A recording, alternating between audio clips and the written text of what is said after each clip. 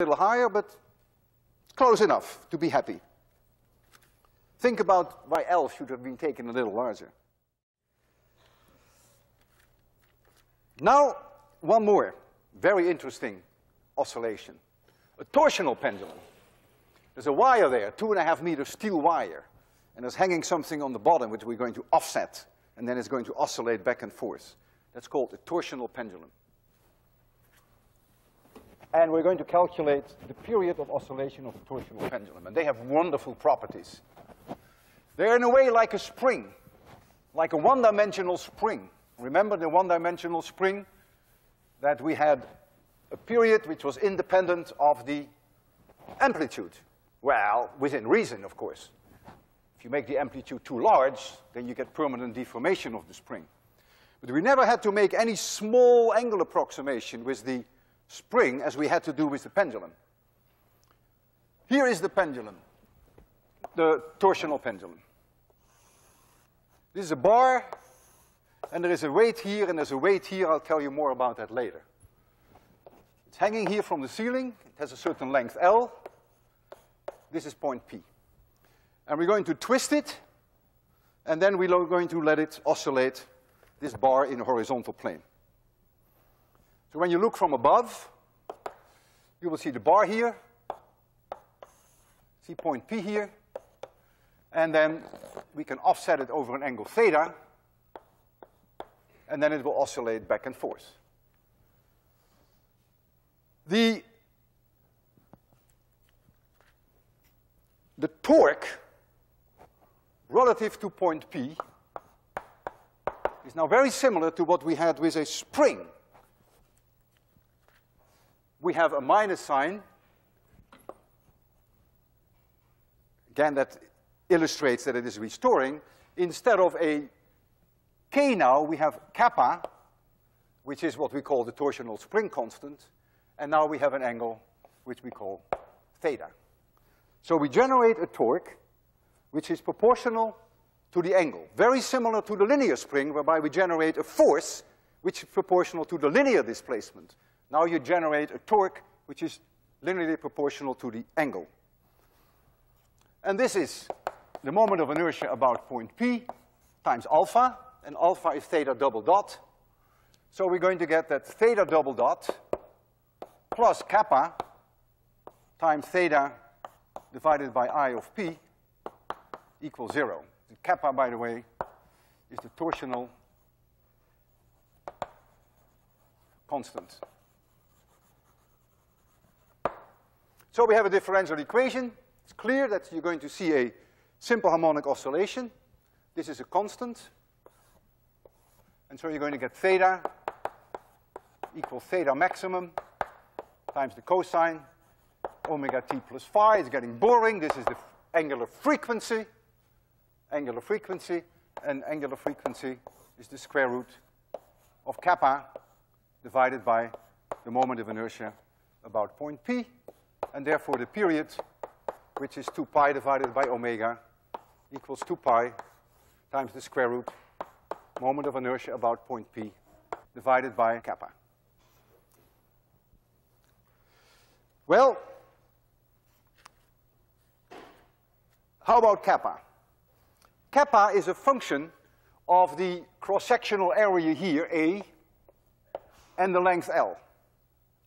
And it's also a function of what kind of material you have. Whether you have steel or nylon makes a big difference. That's very intuitive, of course.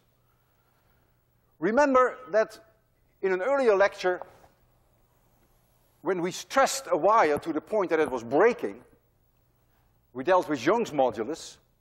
We had a wire, and we had a mass hanging at the end of the wire. And we discussed the vertical oscillation. We could stress it and let it go. And then we would get an oscillation like a spring. And that spring constant that we found then was Young's modulus times the cross-sectional area here divided by the length. And that was kind of pleasing. The thicker the bar, the stiffer it is, the longer the wire, the less stiff it is. Well, there is something very similar here, but I don't want to go into the details of exactly how you derive here kappa. It's a little bit more complicated. But indeed, the same is true if you make the wire thicker, then kappa will go up, and if you make the wire longer, kappa will go down.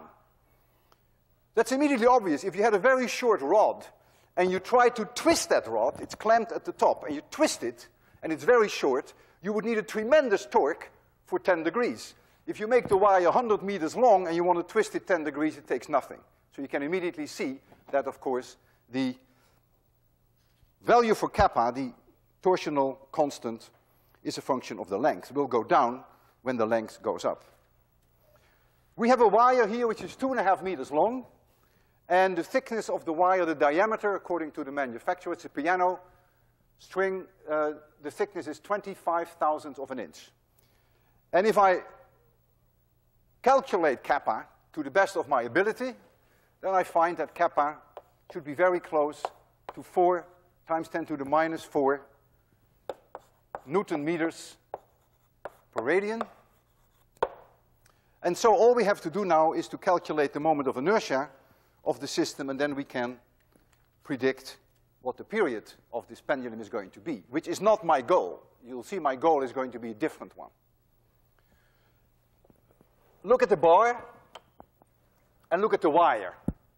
The wire is so thin that the moment of inertia relative to point P of the wire is very close to zero. Remember, it is proportional to r square. You can forget about that. Almost all moment of inertia is in this system. I'll blow up that system for you. Here it is. You'll see it there. And it has on both sides, it has 200 grams. It is 0.2 kilograms. And it has here 0.2 kilograms. And this mass is almost negligible. And this distance here is 30 centimeters, and this distance is 30 centimeters. So to a very good approximation, the moment of inertia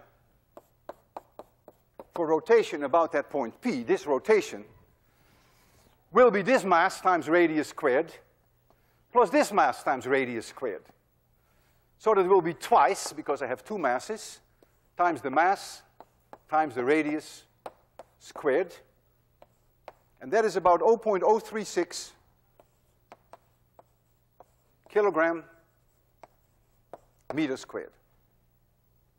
And so when I use that into our equation, so I know now what kappa is, at least I have a reasonable idea what kappa is, and I know what I of p is, that's really almost exclusively determined by that crossbar, I will find then, using that equation, that the period is very close to 60 seconds. My goal is not to prove to you that it is close to 60 seconds. My goal is to show you that for this dimension, which is very thin and very long, that we can make that angle theta maximum, this angle, amazingly large. You're not talking about 10 degrees or 30 degrees we can go much further. And what I want to test with you is how far we can go. This is one of the great things in life, for you and for me, a challenge.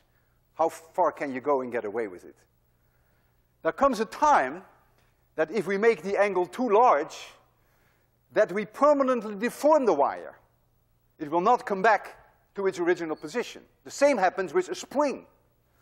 If you take a spring it is true that the period of oscillation is independent of the amplitude, but only up to a point. If you go too far, that Hooke's law no longer holds, that you deform it permanently, then of course the period will become a function of the extension. And the same is true here.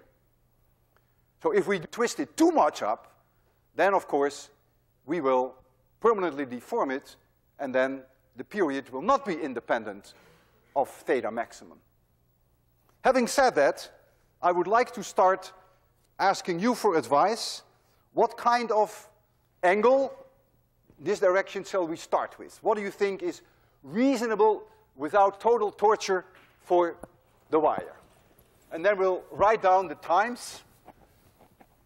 So we're not really interested in testing the 60 seconds, but we would rather like to compare the various angles that we give it. So what is the first one we will, we will try? Any idea? 30 degrees? What? Six pi. The first try? You are cruel. Man, the first one you want 6 pi? You're out of your mind. I'm willing, I'm willing to go one ro rotation, okay? You think that's nothing. It's peanuts for you, right? Okay, I would like to go theta maximum of 360 degrees, so 2 pi, and measure the period. In fact, to measure the period takes a minute. And it's not necessary. We can measure half a period. Namely, we wait until the pendulum stops, and we measure the time until it stops again. That's half a period. Like with a spring. If it stops here, and it stops there, that's half a period. So we'll measure half a period. Now, I don't know what my reaction time is going to be. It may be not a tenth of a second, because the moment that it stops is not so well defined, you will see. I'm just guessing. It's probably a little larger than one tenth of a second. Let's give it a shot. Let's try first 360 degrees. You see, this is black and this is a little red. So we will rotate it one rotation. This is back here where it was. Yeah, have you seen that? 360 degrees. Okay, now I will first let it go and wait until it stops. I always do that. And then I start the time. And then when it stops again, I'll stop the time and then we have half a period. So let's first do its own thing. Very slowly, very gently. It Should take roughly 30 seconds for half a rotation.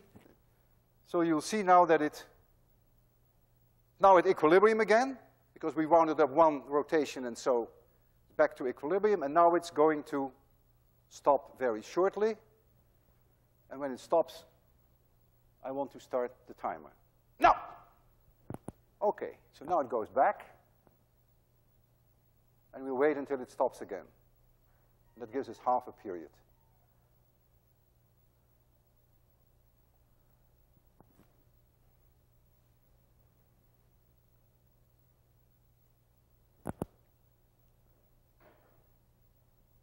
Okay.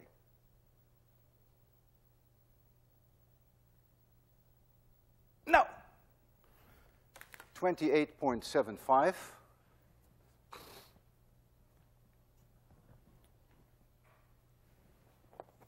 Twenty-eight point eight. What are we going to do now? Three rotations?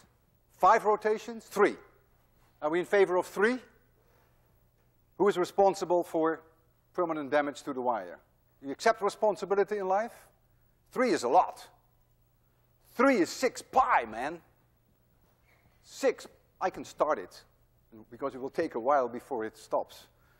Three rotations. First, we have to be sure that it is more or less back at equilibrium, which is always a difficult thing, because it's so slow.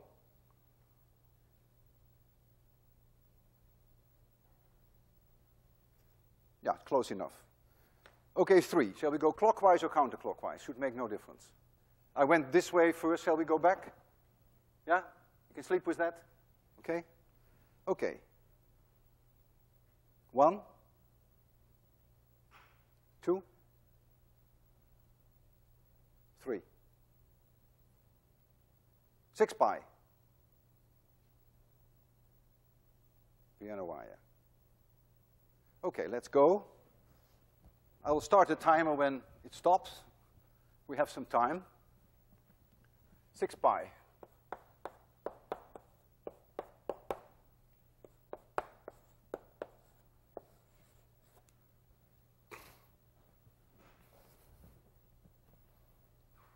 If we rotate it six, three times, then it will rotate six times back before it stops. I hope you realize that.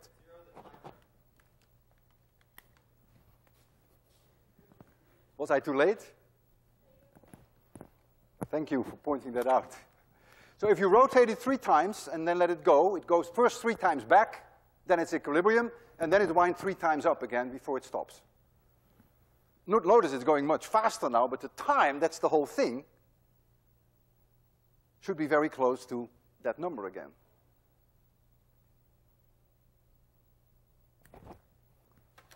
28.5. Whew, not bad. Shall we now go all the way? What do you want to do now? Break the wire or 10 rotations? You'd love to see that, right? It will go like mad, 10 rotations. Isn't it amazing how much faster it goes? Still 30 seconds. I must make sure that I have my equilibrium. This was not equilibrium. I know it's somewhere here. No, that wasn't equilibrium. I think this is it. Okay. 10, right? Ready? One, two, three, four, five, six, seven, eight, nine, ten. Poor wire. We'll let it go, and we'll see what happens. When it stops, I'll start the time. Excuse me? Thank you. Thank you for pointing that out.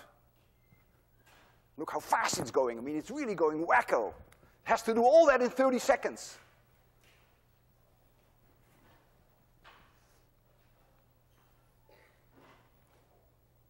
No! So now it has to go back to its stopping. It has to make 20 rotations now. 20 rotations in 30 seconds. 10 back to equilibrium, and then 10 to come to a halt. This is going to be your Thanksgiving farewell demonstration.